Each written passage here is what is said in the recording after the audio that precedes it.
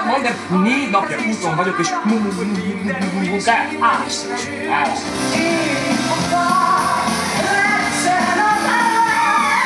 Buongiorno Giovanni, buongiorno. Azt nem mondom, hogy egy konyhatündér lettem, de miattad, édes bikám, drága paripám, én még ezt is megtanultam. Drága barátom, neked most a megértésre, gondoskodásra, szerető családra van szükséged. Hát ez az, mert egy hete más se csinálok, csak őket keresem, most semmi, semmi.